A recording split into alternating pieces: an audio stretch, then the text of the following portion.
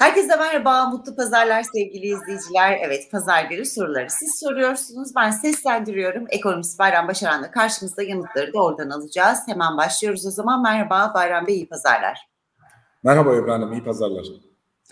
Hemen ilk izleyicimizle başlayalım. Müslüm Arıkan diyor ki, e, Bayram Bey'e pazar günü sorulmasını istiyorum demiş. E, akaryakıt fiyatları Brent petrol ve kur etkisiyle artış ya da azalış yaşıyor.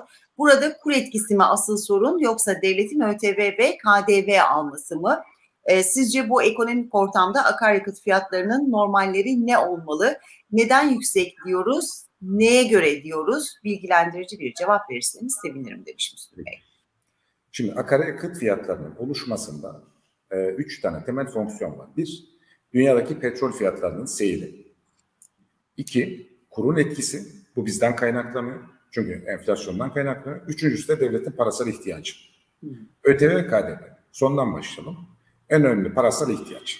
Yani devlet maalesef diğer ülkelerden farklı olarak bizde bizim dolaylı vergiler dediğimiz doğrudan vergiler, işte gelir vergisi, kurumlar vergisi bunlar doğrudan vergilerdir.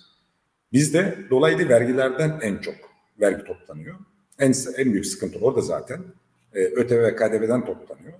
ÖTV aslında bir kerelik konmuş bir şeydi. Maalesef e, 80'li yıllardan beri e, hayatımızda devam ediyor.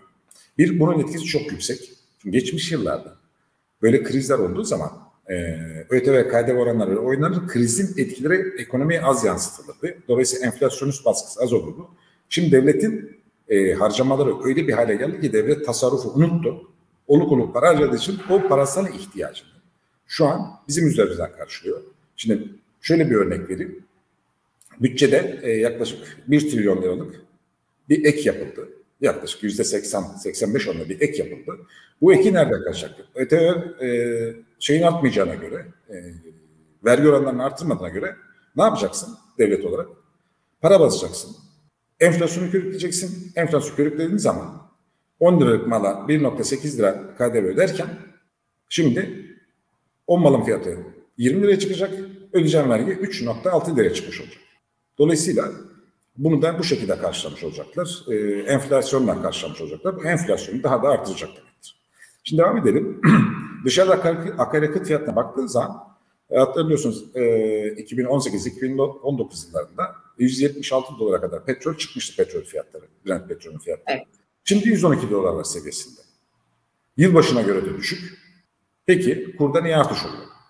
Ee, petrol ve akaryakıt fiyatlarında niye artış oluyor? İşte enflasyonu körüklemek için devlet herhangi bir fedakarlık yapmıyor. Avrupa ülkeleri, Amerika gibi ülkeler, gelişmekte olan birçok ülkeler petrolden aldıkları, Amerika dahil olmak üzere akaryakıttan aldıkları fiyat e, vergileri indirmeye başladılar.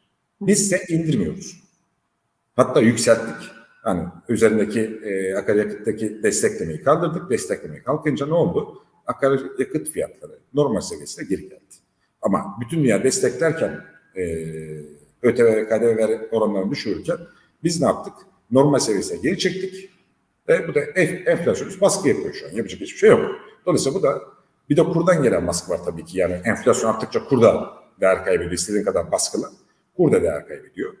Eğer bu e, yılbaşından bu yana satılan 60 milyar doların bir kısmı satılmasaydı da bunu desteklemek kullansaydı enflasyon bu kadar artmayacaktı.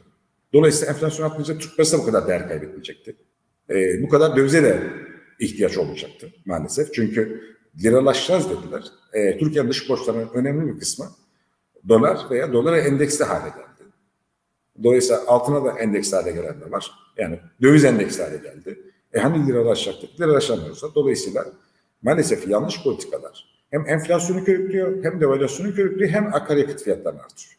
Evet. Mevcut bu. Yani petrolün dünyada düşüş göstermesine rağmen, değer kaybetmesine rağmen biz de bizim kendi içsel nedenlerimizden dolayı maalesef e, hem kur, arıyor, kur artıyor hem petrol akaryakıt fiyatları artıyor. Bu da genel fiyatlar seviyesini yukarıya çekiyor. Şu an fiyat oluşum mantığı da kayboldu piyasada. Kim neye göre fiyat yaptığı belli değil. Hakikaten belli de olamaz çünkü devletin ne akşam yatıp sabah ne karar alacağını bilemiyorsunuz. Dün gece piyasalar kapanırken bir karar aldı. Yani yanlış bir karardı. E şimdi bu fiyat dengeleri yeniden bozacak. Kim neye göre fiyat yapacak şimdi? Belli değil. Bu kurun etkisi, bu alınan tedbirlerin etkisi. Doların, dövizin %90'ına devletin hükmediyorum etkisinin ne olacağını hep beraber göreceğiz. Kimse bilmiyor şu an. Dolayısıyla fiyat da yapamıyor. Neye göre fiyat yapacak insanlar? Maalesef belli değil. Peki bir diğer izleyicimize geçiyoruz. E, diş hekiminiz diyor ki kıtlıktan bireysel olarak korumanın yollarını da anlatır mısınız? Valla kıtlıktan bireysel olarak korunmanın en önemli yolları şu an alabildiğiniz kadar. Bir kere temel ihtiyaç maddelerinizi evinize alacaksınız. Yapacak hiçbir şey yok. Geleceğe yönelik fiyat artış beklentiniz varsa ki şu an maalesef var. E, onlardan korunmak için yapacağınız en önemli şey bozulmayan, akarı kokarı olmayan ürünleri stoklamak. Başka hiçbir yolu yok. Evet. Kıtlıktan korunma tek yolu. ikinci bir yol. Biraz daha e, ileri gittiğimiz zaman valla evinizdeki bir metrekare yeri bile ekeceksiniz abi. Yapacak hiçbir şey yok. Evet. Oraya tar çoğunluğu domatesinizi, patlıcanınızı bilmem neniz falan bir metrekare yer bile değerlenecek toprak değerlendirilecek çünkü ekimden itibaren sıkıntı büyüyecek yapacak bir şey yok. Evet.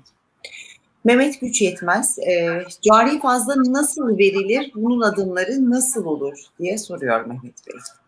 Valla cari fazla, e, şimdi bu ekonomik sisteme bakmak lazım o zaman. Cari fazla verebilmen için asıl mantık olarak ihracatının ithalatından düşük olması lazım. Dış borçlamanın düşük olması lazım ama bizim dış borçlamız da çok yüksek. İthalatımız, ihracatımızın çok üzerinde. Dolayısıyla şu an Türkiye'nin cari fazla vermesi mümkün değil. Bunun için topyekun ekonomik reform gerekiyor.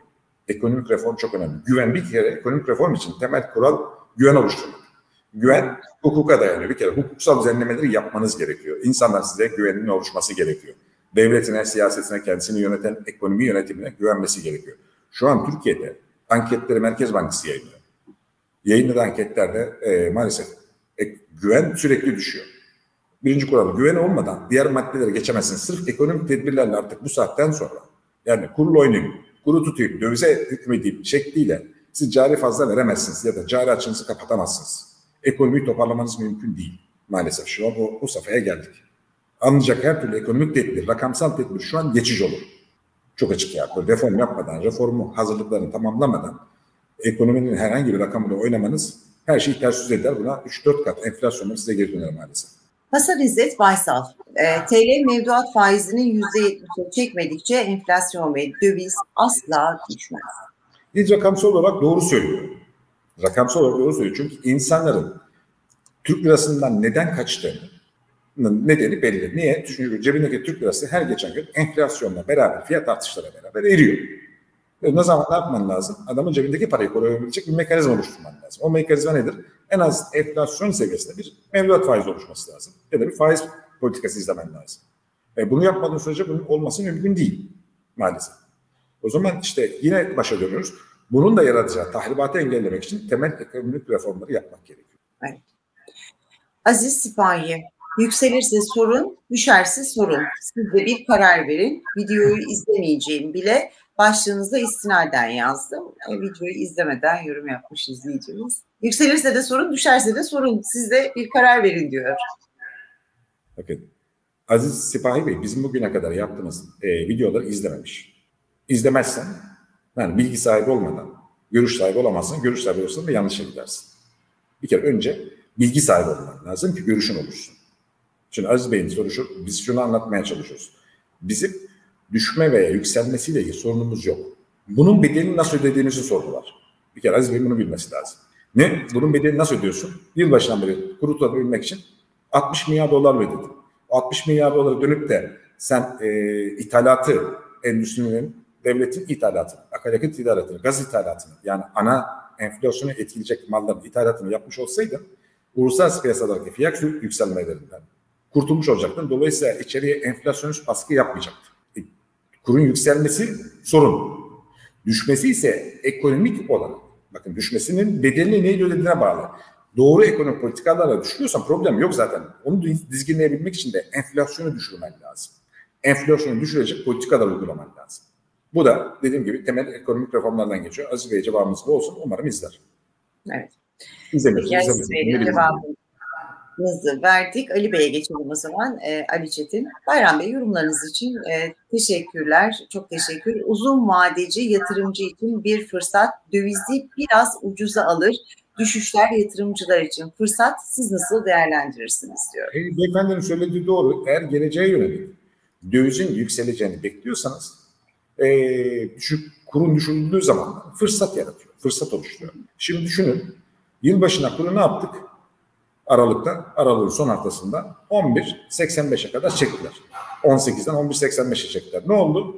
Şimdi oradan bugüne kadar kur artışına bak. %60'a yakın kur artışı oldu. Ne oldu? Herkes para kazandı o zaman alanlar. Değişen bir şey oldu mu? Olmadı.